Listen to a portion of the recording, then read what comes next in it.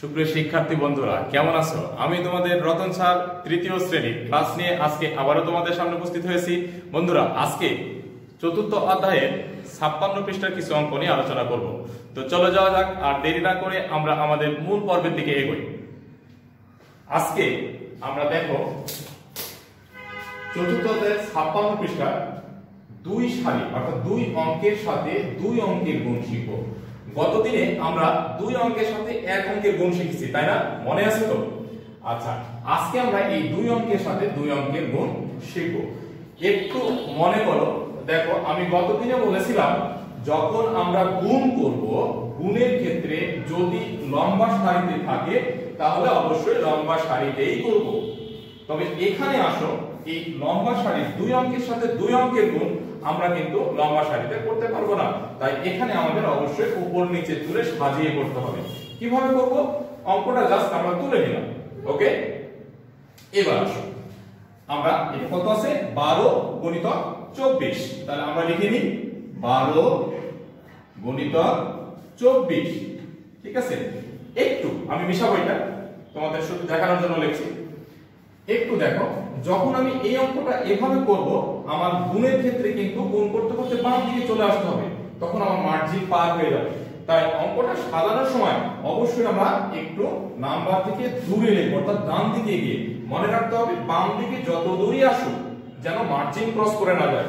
তাহলে একটু এগিয়ে যদি লিখি আমি, বারো গণিত চব্বিশ, অথবা চব্বিশ উপরে রাখতে পারো নো প্রবলেম গুণের ক্ষেত্রে সমস্যা নাই গুণার জন্য ওকে কীভাবে করব? এই চার দিয়ে প্রথমে এক, দুই, এক, অর্থাৎ এই একক দশক দুটাকে করব, আবার পরে দুই দিয়ে একক দশক দুটাকে করব। তাহলে করি, চার দুগুণে আট, আর থাকে কিছুই না। চার এককে চার। তার মানে এক সারি শেষ। এইবার চারের কাজ শেষ, এবার আমি দুইয়ের কাজ করব। দুই দুগুণে চার, দুই যে সোজা আছে, সেই সোজা রেখো। বাকিটুকু শূন্য দিয়ে ফিল আপ করব। অনেকের হয়তো অভ্যাস আছে ক্রস চিহ্ন ব্যবহার করি আমরা। বাবা ক্রস চিহ্ন ব্যবহার করা যাবে না, এটা এখন নিয়ম আপডেট হয়েছে। তো দুই দুগুণে চার। চারের নিচে, অর্থাৎ এই দুই যেখানে আছে সেই বরাবর কিন্তু, ঠিক আছে? আর দুই এককে দুই। দেখো, ফাঁকা পড়ে গেল। এই ফাঁকা জায়গাটায় আমার শূন্য দিয়ে ভরা করব। এইবার বাকি কাজ যোগ। আট চার চার আট দুই। ক্লিয়ার আচ্ছা। আরও ক্লিয়ার হব আরও অঙ্ক আছে আমরা দেখি। তাহলে ঠিক একই নিয়মে নাম্বার থেকে একটু দূরে অঙ্ক সাজাবো আমরা। কীভাবে? পঞ্চাশ গণিত এগারো। আচ্ছা যদি এটা গুণ করি, দেখো, খুব মজার বিষয়। একটা একটা করে করব কত? খুব ছোট ছোট অঙ্ক থাকে এখানে। একে শূন্য শূন্য। আমি গতদিনে বলেছিলাম যে শূন্য দিয়ে পৃথিবীকে গুণ করলে পৃথিবী শূন্য হয়ে যায় মজা করে বলেছিলাম। তো তাই দেখো, একে শূন্য শূন্য। এক দিয়ে যদি পাঁচকে গুণ করি পাঁচ কে পাঁচ। ঠিক আছে? এবার এক দিয়ে আবার এই শূন্যকে করব। একে শূন্য, একের বরাবর কিন্তু লিখতে হবে শূন্য। আর পাঁচ এককে পাঁচ। তাহলে এই যে ফাঁকা থাকছে এটা শূন্য দিয়ে করা। এবার আমি শুধু যোগ করে দেব। শূন্য, পাঁচ পাঁচ। ওকে? পরের অঙ্ক একই ভাবে দেখো, প্রত্যেকটা অঙ্ক যদি তুমি মনোযোগ দিয়ে দেখো, কোনো ত্রুটি থাকলে একটা পর একটা দেখতে দেখতে দেখবে কেটে গেছে। যা, দেখো, একত্রিশ গুণ একুশ। নাম্বার থেকে অবশ্যই আমাকে দূরে থাকতে হবে। একত্রিশ গুণ একুশ। তাহলে এগিয়ে দেখি। একত্রিশ আর একুশ। তাহলে যদি গুণ করি, তাহলে দেখো কি হয়? এক দিয়ে এককে গুণ, তারপরে এক দিয়ে তিনকে গুণ, তাই তো? তাহলে এক এককে এক। এক দিয়ে তিনকে, তিন এককে তিন। তারপরে দুই দিয়ে করব এবার এই সোজা রাখব। দুইয়ের সারিতে। দুই এককে দুই। দুই তিন দুগুণে ছয়। এটা বেরিয়ে আসবে, ঠিক আছে? আর বাকিটা শূন্য। যোগ যদি করি এক, তিন, দুই, পাঁচ, আর ছয়। কোনো হাতে নাই, যার কারণে কোনো ঝামেলাও নেই, ঠিক আছে? এরপরে আসো চার, পাঁচ, ছয়। এই অঙ্কগুলো কিন্তু আমাদেরকে আর সাজিয়ে নিতে হচ্ছে না। অটোমেটিক এখানে সাজানোই আছে। তাহলে আমরা শুধু এখানে গুণ করে দিব।